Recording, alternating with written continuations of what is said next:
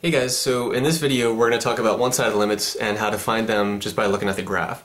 So when you talk about one-sided limits, you can have either a left-hand limit or a right-hand limit.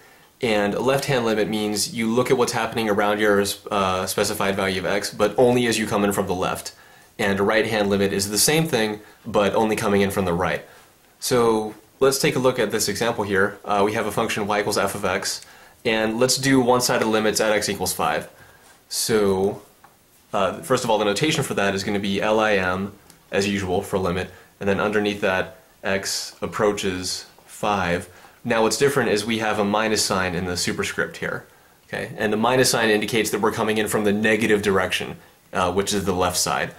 Uh, and then f of x equals, okay, so the way we figure this out is we look at the graph, we cover up the right part, okay, uh, everything to the right of the 5 does not matter at all we're doing the left-hand limit as x goes to 5.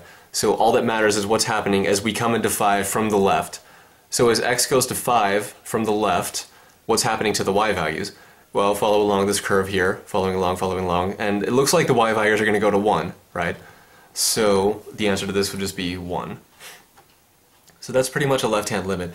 Uh, just like a limit, it tells you how a function behaves near a certain point, but for the left-hand limit, all you care about is what's happening on the left side and whatever's happening on the right is completely irrelevant. Now for the right-hand limit, it's pretty much what you'd expect. Um, it's the exact same thing, except now we're just focused on what's happening on the right side, and we don't care about the left. So the notation for that is LIM for limit, and then underneath that x approaches 5, and now we have a plus sign in the superscript on the 5. Okay? So the plus sign indicates the positive direction, which means from the right. So plus sign here, positive direction. We're coming in from the positive direction, which means we're coming in from the right. Okay? So then uh, f of x equals.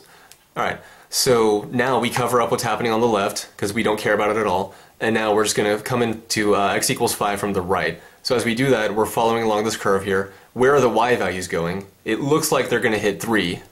Okay, as x comes into 5 from the right, the y values are getting closer and closer to 3. So this limit then is 3.